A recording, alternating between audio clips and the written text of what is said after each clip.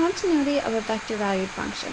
Let's say we have a vector valued function, r of t equals f of t, g of t, h of t.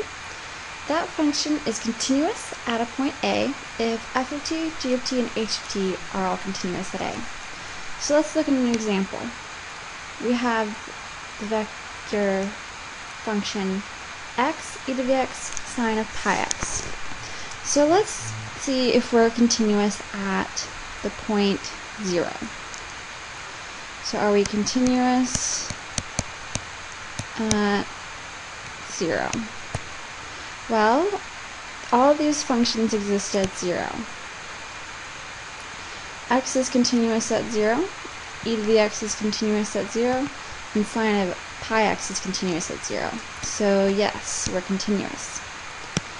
What about the vector valued function x plus 2, square root of x, tangent of x at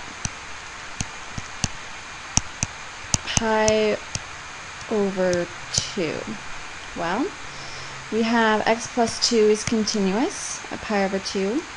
Square root of pi over 2 exists.